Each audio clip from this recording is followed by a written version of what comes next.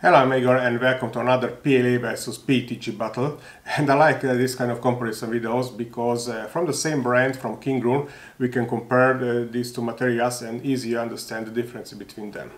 The PLA will be in red color and the PETG is in black color. Additionally I got two more products from the Kingroon and uh, this is the vacuum pump and uh, some vacuum bags because the PETG is sensitive to moisture. Of course not like nylon but anyway I always like to store them after the printing in some resealable or if possible vacuum bags because it will be protected from the moisture in the air.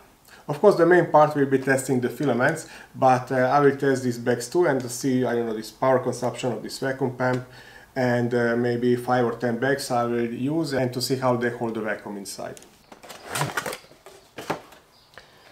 Nice vacuum packaging and I'm starting with PLA and everything will be printed on Kingroon KP3 the printer.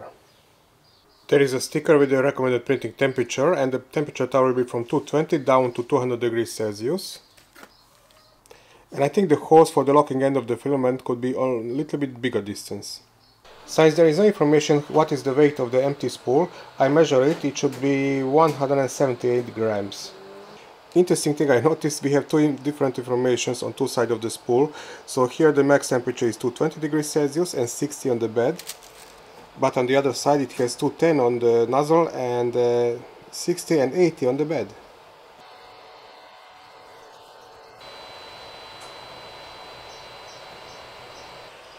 So far super clean and nice printing on any element. And it starts the last one on 200 degrees Celsius.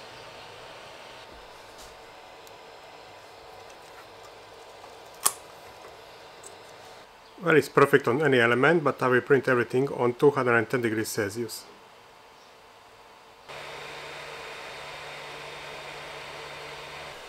And the last two elements for the layer adhesion test.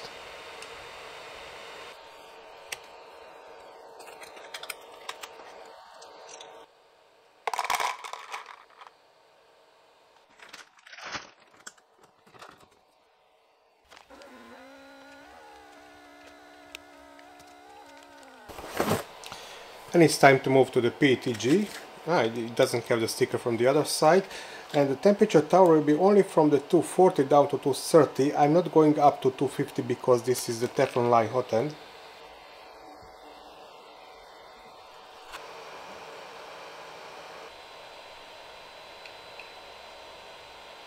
It's printing the second element and I can see absolutely no stringing, this means it is completely dry out of the box. And this temperature tower is perfect not even one string. This means the filament is completely dry after the box. And now you print everything on 240 degrees Celsius which is actually in the middle of the recommended printing temperature range. First layer looks good. 240 on the nozzle 80 degrees on the bed and only 50% cooling. And finishing the last two elements for the layer adhesion test. Printing is finished and all test objects are ready for the testing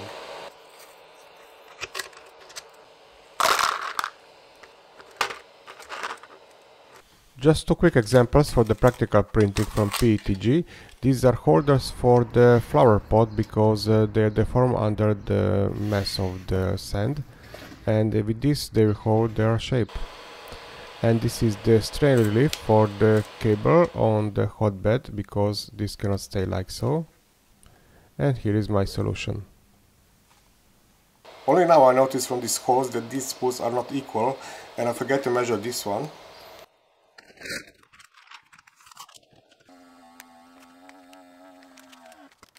and it's time for the mechanical testing. This test subject is printed in horizontal position. The smallest cross-section area is 4 by 4 millimeters, and I'm starting with PLA.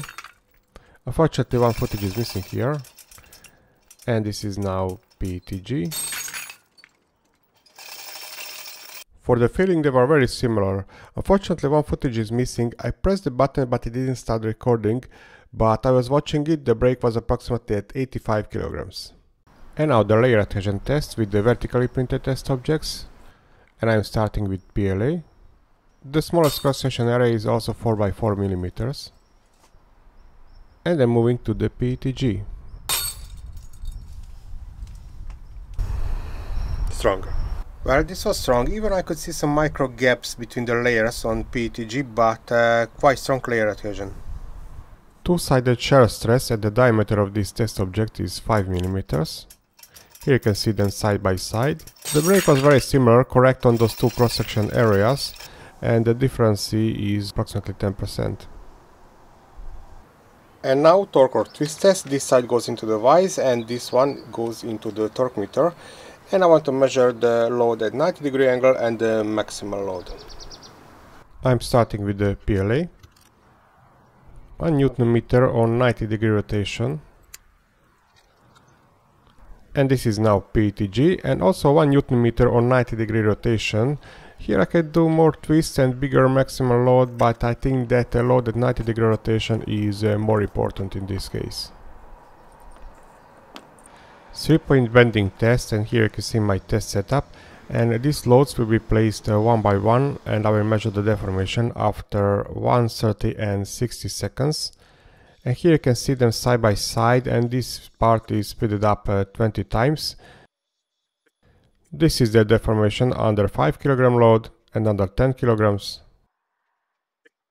Interesting, there is no noticeable permanent deformation on them. With IZOD impact tester and this half kilogram hammer, I can see which of these two materials are more brittle. Well, in theory, the PLA is more brittle compared to the PETG, but uh, let's measure it.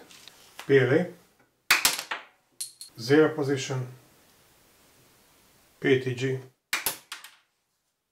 For the first look, very similar materials and both are very brittle, uh, but let's check the numbers. This is the zero position of the hammer, this is after breaking the PLA, and this is after breaking the PETG. And yes, the PLA is more brittle material, but the difference is very minimal.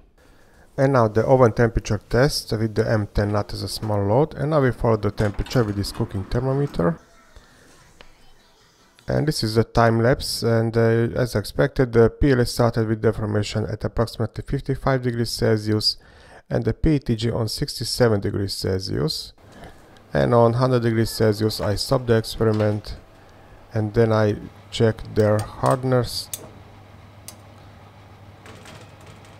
and they were soft very similarly and after only 2 minutes they became hard. And now one regular creep test to measure the deformation under the constant load. This will be 1.25 kilograms. And I'm fixing the position so the measuring is more precise. 1463. And bigger stud deformation on PETG. 1547. And after one day the deformation is very similar. I already measured them after two days the deformation is still very similar but a little bit bigger on the PLA. On day 3 it is quite obvious that PLA has uh, a 1mm bigger deformation than PETG. After 6 days and now removing of the load. And after half hours we can see some permanent deformation and it is much bigger on the PLA. And now let's analyze the results in this Excel table. Here you can see my print settings. And let's start with the creep test. And uh, interesting because uh, the PLA had a smaller deformation on the day 0 and after day 6 it has more deformation than PETG, the deformation I measure on these two reference surfaces. But we need is the difference between two days and that's what we can see in this table and this is presented on this graph and uh, it can be seen that the PLA basically uh, reduced with the creeping only on fifth day and PETG, well, on the day 3 it has very minimal creeping from that point. Tensile test, well, I measure here only the break load and uh, it was very similar, so the breaks around uh, 87, 86 kilograms in both cases. Now, biggest difference we can see in the layer adhesion test, uh, so everything above 20 kilograms is acceptable, uh, but the PETG almost 50 kilograms uh, break load that was very impressive. The shear stress, uh, well the difference here is very minimal so a little bit stronger is the PLA. And now that 3 point bending test, so in this table we can see the deformations after 30 seconds on these loads but I believe that this table is much more important because uh, here we can see the deformations after 130 and 60 seconds on this given load. And uh, well, yes, uh, here also the PLA performed better, but uh, I can see some creeping, for example, on 10 kilograms. So this is more flat curve compared to this one. The torque or twist test, and uh, I believe that uh, this is more important value, so the load at 90 degree angle, and in this case they were similar. Of course, with the PETG we could do uh, more turns and a bigger break load, but uh, basically this is what is important in this kind of test.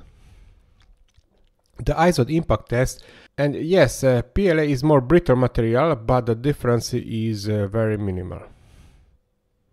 The temperature test, important experiment because uh, this may be one of the main reasons why would you like to go with the PETG instead of PLA.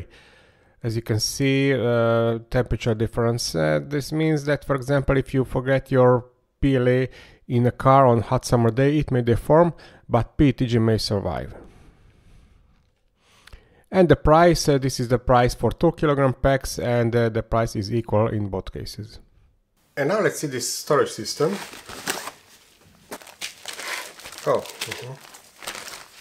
so I have here 20 bags and I have some uh, desiccants inside because they will be placed inside. And there are some clips. Theoretically I need only one. This is for the helping to seal correctly this line.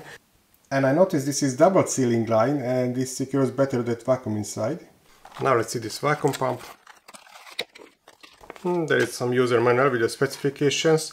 400 milliampere hours is the battery power it uh, works on 5 volts and the vacuum speed is 3 liters per minute cable for the charging it goes here I will try to illustrate you the strength of the pump. Oh.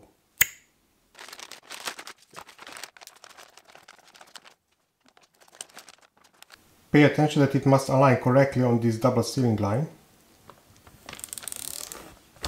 And then I can even remove it.